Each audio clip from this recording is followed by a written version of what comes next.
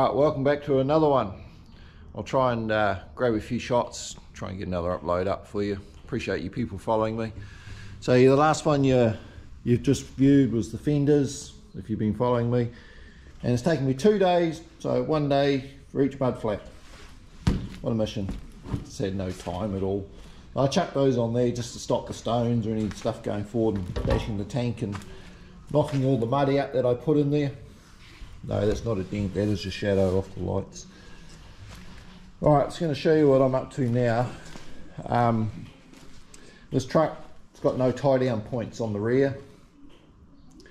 So if it breaks down and I need to put it on the truck and take it somewhere, I realise you can put the chain up underneath and go around the bar and that, but um, it's just had a bit of time to fill in this morning.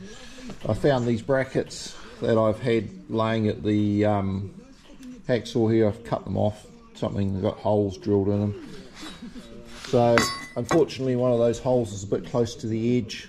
Sorry about the other light. It's the I'll turn it off. It's better. It's the um, bit close to the edge there, but we'll make it work. I'm just going to hole saw it. You'll see what I'm going to do in a minute. And those ones there, I've marked it. Just going to cut those off down there. I've already cut a taper on there. Just one side was, one wasn't. So we put it on the truck. One was up, one was down. So I'm just to, I'll take you down and show you what I'm going to do. Right, so I've rigged it up in the my little uh, drill here. Clamped it down on a bit of wood. I don't know if the saw is going to cut the stuff or not pretty experimental. Put a bit of cutting compound on the drill. If it works, we should get a pretty nice tidy hole, but if it doesn't, it's just going to be a big mess. I warn you from the beginning, I have no idea what I'm doing. Don't know what speed to turn these things or anything like that.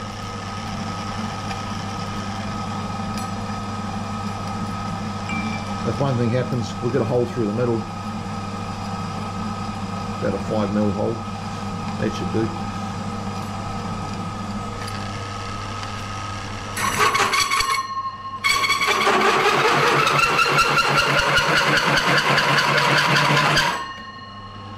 Uh, yeah, it's going to cut. Godly goop on there. Can't help it.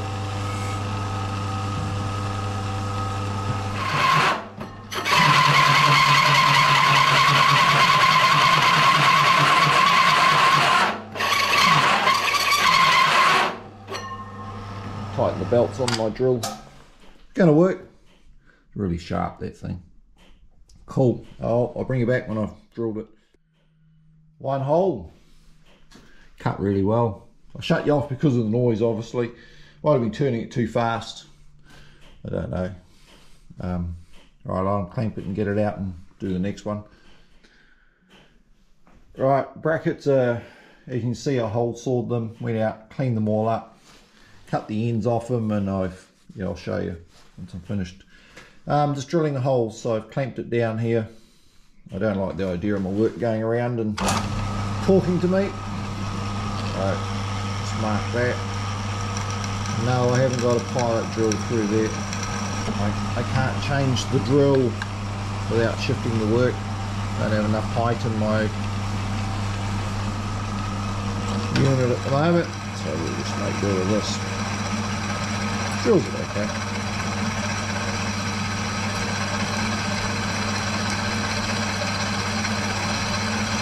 Pretty lucky to have this sort of gear for doing these projects.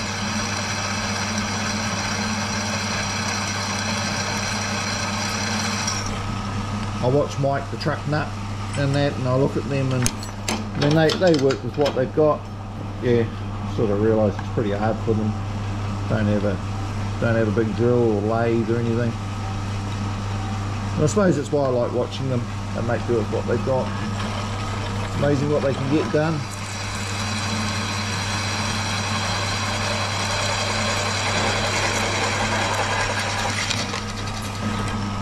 Oh, we got that done. Ooh. Like that. I love this clamping set. Very useful tool. Alright. Go file those up. I've um, already drilled the other one. Usual story, I'm doing something and think, yeah, I haven't turned the camera on. It doesn't really matter, don't want to bore you with same thing over and over. We'll go and clean these up and um, might do a test fit. We got these mocked up, got them sitting on there. I found some longer bolts. It was a bit of an issue. The other ones um, want to run hardened washers either side.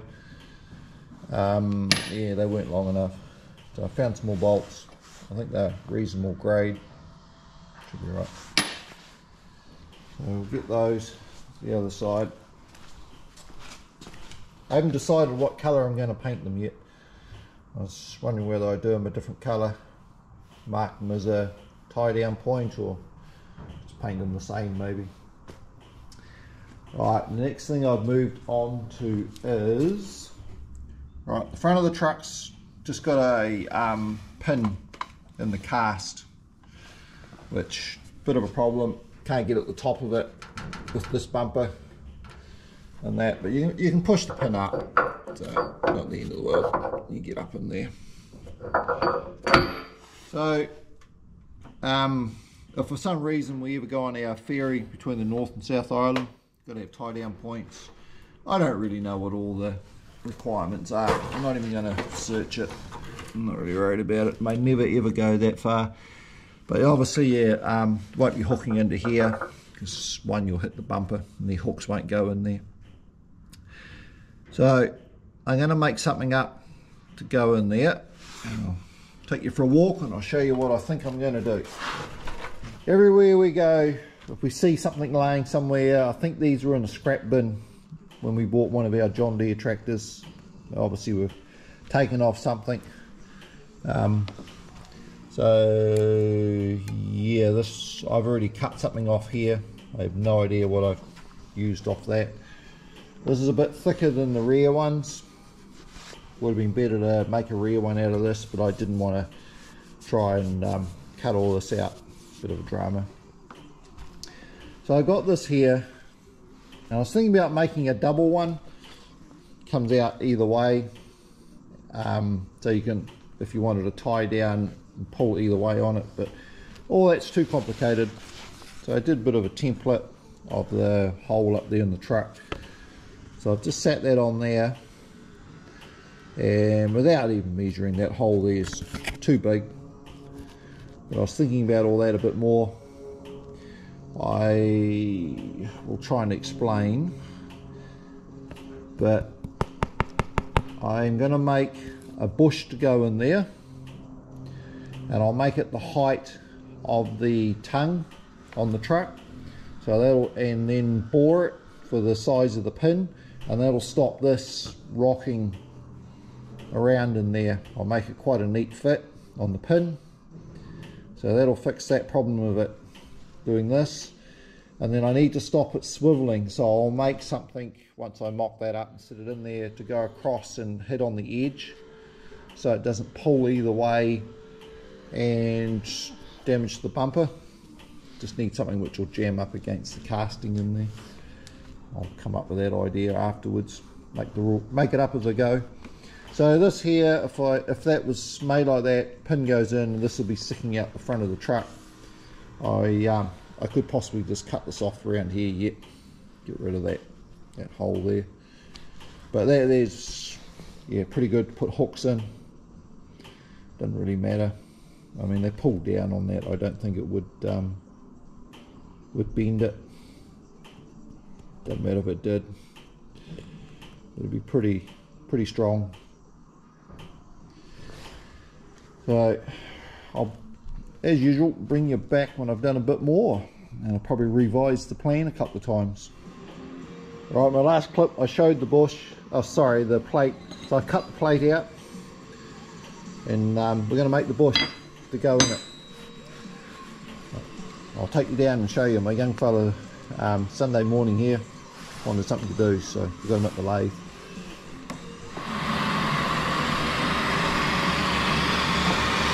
we found a bit of steel the right diameter and we're just turning the end down a little bit long instead of cut it off.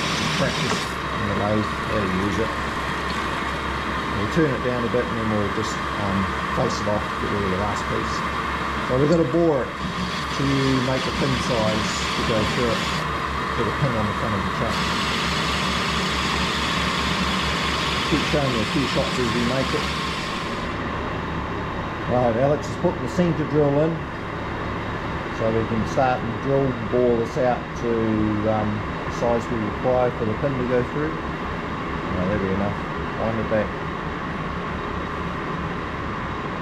Yep, that'll do. Turn it off. Alright, you gotta let the brake go and slide it back. And we'll change over to the drill we can put through. Yep, take that one out, give it a wipe.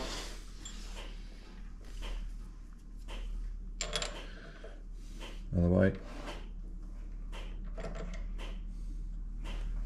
Put that over on the end there with the rest of them.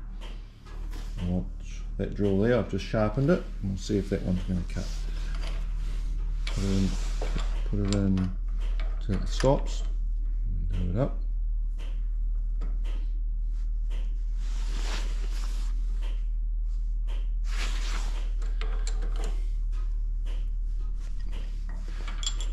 Right, so if you wind that back any further, you'll end up pushing the taper out. That's how you get that out of there. So when, when that goes back, and you can feel it stop, that there, don't go Yeah. anymore. You pop that out. Slide that forward without bashing the tool into the work.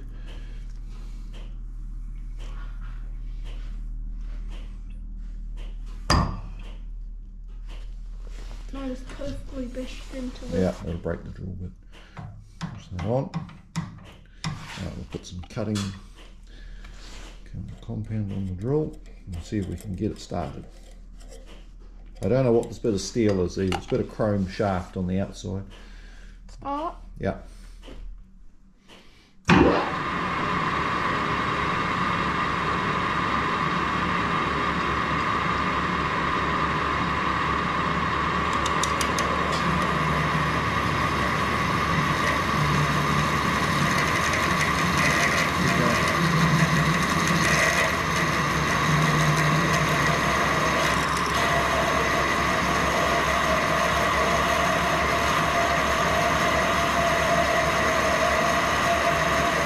Drill sharp and pretty even. See how it's even turnings coming off either side of it? Which means it's not cutting on one side.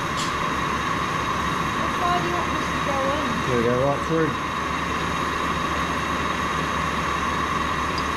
It'll only go so far, then you have to wind it back. It puts more fluid on it, and the drill's going to get blocked up as well. Those turnings won't keep coming out.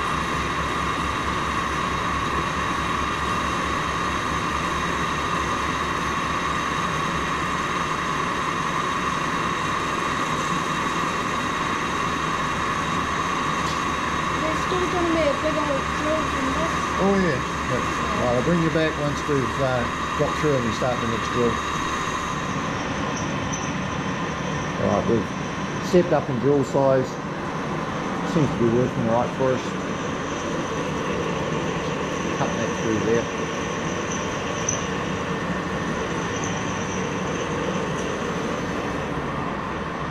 Got a talking metrics, but we need a 32 mil hole through there not sure what that is um, material. Just about tell you.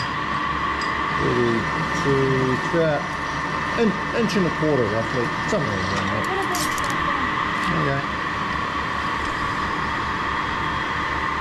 So I've got the option. Um, yeah, the taper's quite damaged on this, but yeah, that drill there. I know it's broken. It's an old drill. We're only going to use the outside edge.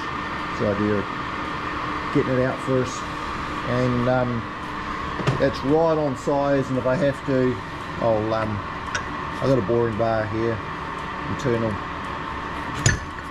couple of those here, and just chuck that through. Clean the hole out. We'll just make it and take it out and see if it fits over the pin.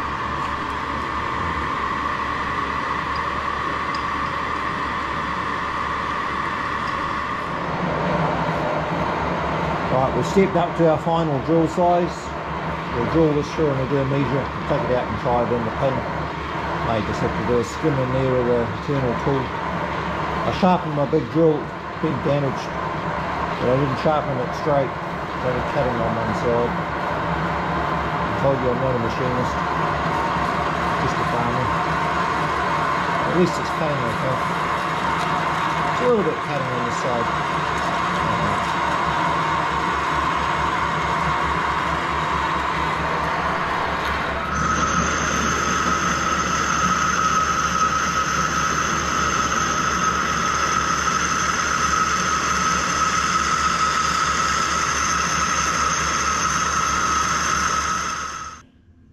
I'll sort out the studio lighting here. It's not too good in the Hollywood studios here. Right, we've got the bush we made. I've centralised it and I tacked it in there. We just done a little bit of grinding on my plate here to make it fit in there. But, yeah, sorry about the lighting. Can't do much about it. I lost my assistant. He's had enough. He's gone inside. Um, he helped me put the pin in and we got all that. I, I made it with tolerance. Um, yeah, too tight, you never get it in. We know all about that. Um, I, my next thing is I need to stop it going like this because she's going to smash the bumper up. So I've got to come up with a way of making something to go down in the sides here to try and hit on the taper and the cast here of the pulling hitch area. I'm just not too sure what I'm going to do there. I might uh, retire for the day and I'll have a dream, come up with an answer. Can't stop the pin from rotating. There's no way of doing that. Not putting a bolt through it, so you only shear it off. And then we never get the pin out. So, yeah, I can't jam it in the back there. There's a hole in the casting in the very back of the tongue here. So, yeah, I can't stop it doing that. I didn't want it just to grab on the back corners of this I made because it wouldn't be enough. It would only bend it and squash it and, and eventually give it. It's going to be something strong along the sides here. But whatever I make has to be able to fit out through the bumper here. The bumper's right flush with all that there. So it's sort of got to work on the back half more than anything else. And that'll um, fit in and out. Won't take too much. Thought about putting a bit of steel across the front here and bending it so it just touches there. Back here somewhere. Welding a piece either side of this bush. Something pretty rough. Right, I have a dream and I'll come back to you.